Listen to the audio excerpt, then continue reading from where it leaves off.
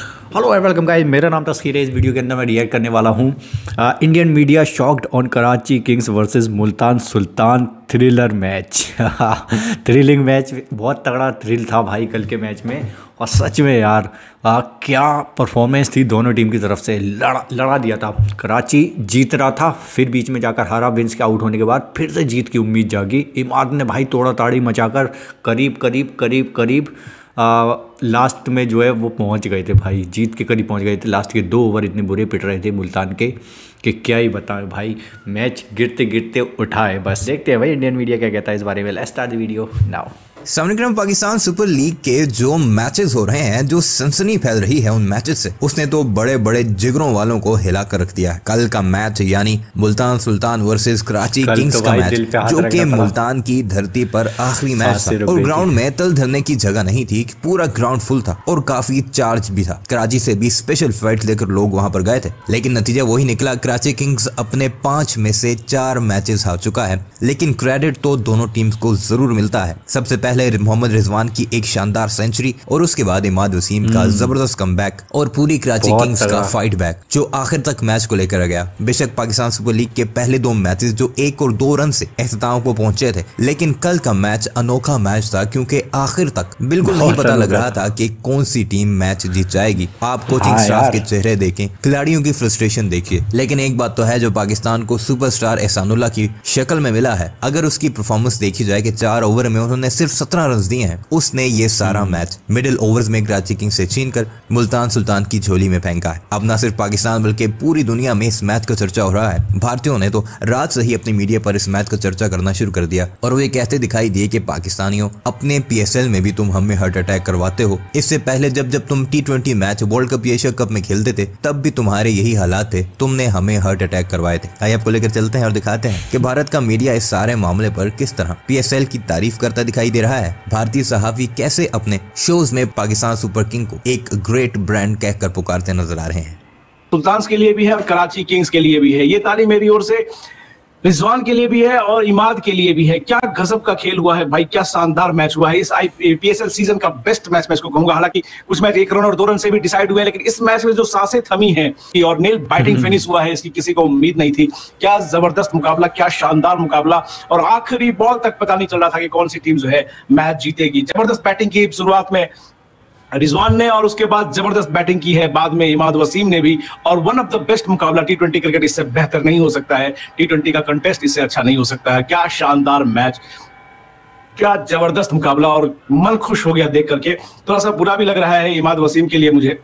थोड़ा सा हाँ बुरा लग रहा है। बहुत की थी लास्ट तक ले गया था इतनी अच्छी पारी खेली लगभग लगभग मैच बना दिया था इमाद वसीम ने और लग रहा था कि अपनी टीम को जितवा देगी लेकिन वहाँ से जो है आखिरी बॉल पे केवल एक रन बना। क्या बेहतरीन बेहतरीन बेहतरीन मैच क्या मज़ेदार मुकाबला क्या शानदार कॉन्टेस्ट ऐसे मैचों के लिए जो है लोग टीवी सेट ऑन करते हैं। ऐसे मुकाबलों के लिए लोग जो है सब्सक्रिप्शन खरीदते हैं। सोनी लिप का सब्सक्रिप्शन मैंने खरीदा ही इसलिए कि मैं पीएसएल के मुकाबले देख सकूँ। और एक एक पैसा वसूल हो गया एक एक पैसा। गजब खूबसूरत मैच था भाई गजब खूबसूरत साँसें थमा देने वाला मैच केवल तीन रन से जो है सुल्तान की टीम जीती है। हालाँकि लगातार चौथी जीत हो गई है मुल्तान सुल्तान की।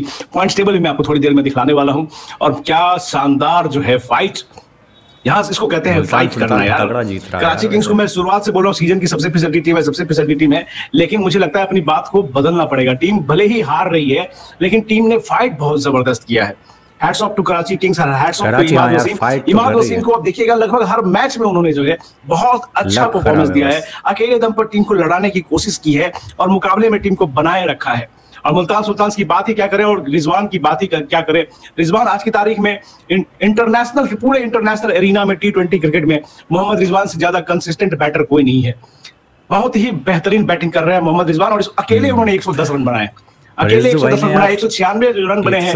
मुल्तान की ओर से उसमें से अकेले एक सौ दस रन जो है रिजवान ने बनाए हैं। और बहुत ही ओपनिंग आज शान मसूद भी अच्छा खेले यार। शान मसूद अक्सर जो हम लोग कहते हैं टुक टुक बैटिंग करता है लेकिन आज शान मसूद ने भी थर्टी थ्री बॉल्स में फिफ्टी वन रन की इनिंग्स खेली छह चौके और एक छक्का जमाया। और हाँ। रिजवान के साथ पहले विकेट के लिए टेन पॉइंट टू ओवर्स में एट्टी फाइव रन की पार्टनरशिप की।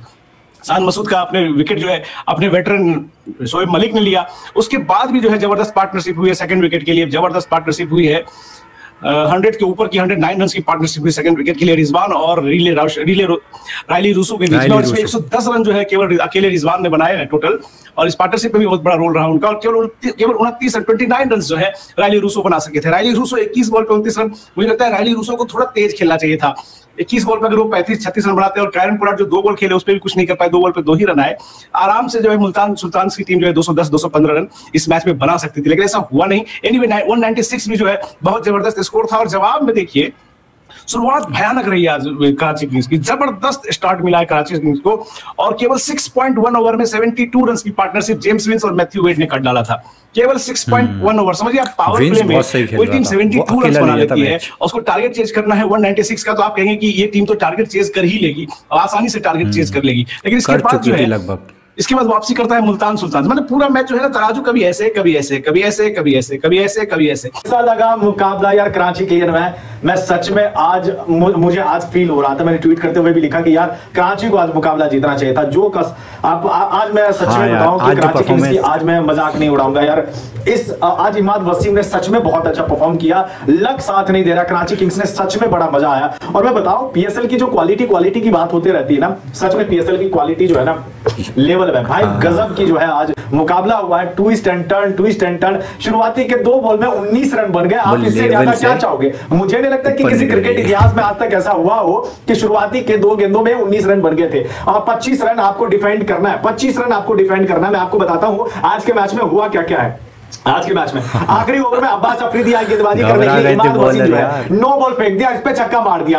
अब छह गेंदों में पंद्रह रन चाहिए थे और पंद्रह रन जो है पहली गेंद पर एक रन आया। अब बेन कटिंग आया और बेन कटिंग की इस गेंद पर वाइड आ गया। अब पाँच बॉल में चौदह रन चाहिए और दूसरी ही गेंद पर बेन कटिंग ने छक्का लगा दिया। आप बताइए और तीसरी गेंद पर फिर फिर जो है वाइड चला गया और तीसरी गेंद पर वाइड गया। तो आप समझिए कि टोटल दो गेंदों पर इनके उन्नीस रन बन गए थे।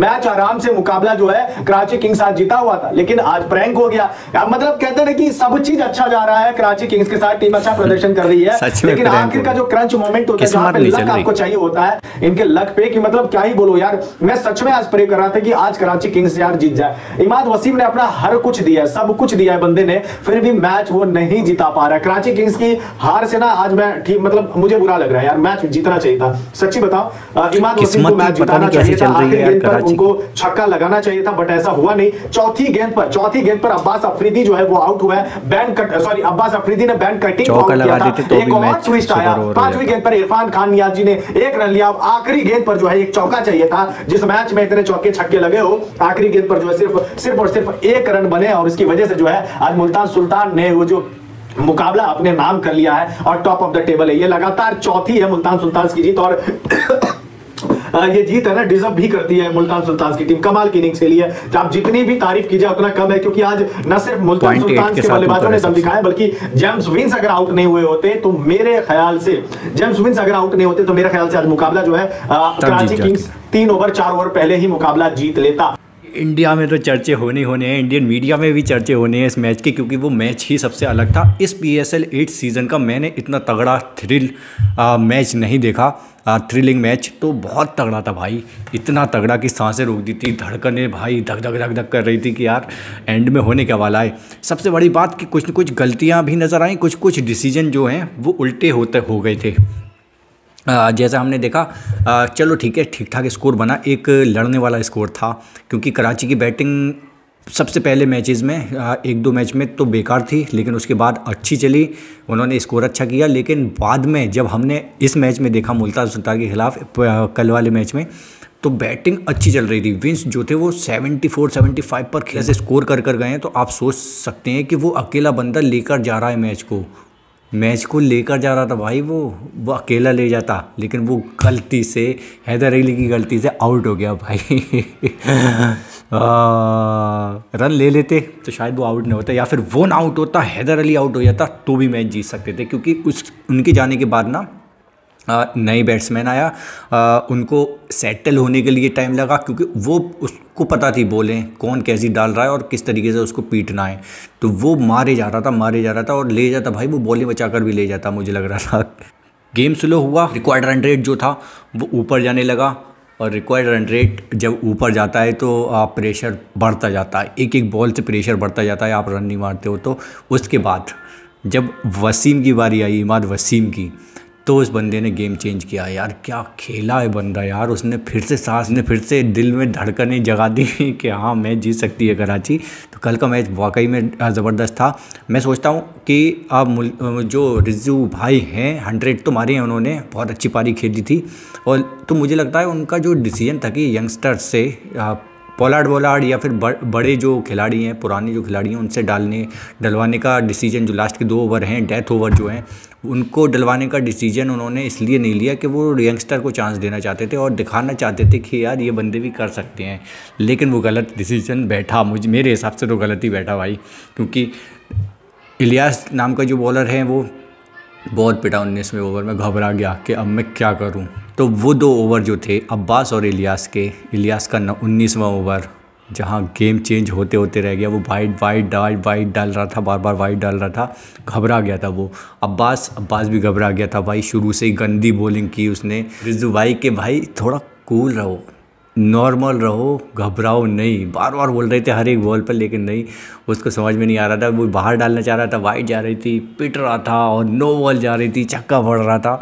लेकिन जो भी था मैच बहुत टक्कर का हुआ था और ये बात सच है, मुल्तान सुल्तान भले ही अच्छा परफॉर्म करी हो बहुत बढ़िया करा हो लेकिन यार, कल जो कोशिशें रही हैं ना, कराची की तरफ़ से, कसम से यार, मैच उसको जीतना चाहिए था मेरे हिसाब से तो यार। तो कैसा लगा इंडियन मीडिया का रिएक्शन कमेंट सेक्शन में कमेंट सेक्शन में ज़रूर बताना। मिलते हैं फिर नेक्स्ट वीडियो में, तब तक के लिए सब्सक्राइब कर लो। Bye bye signing off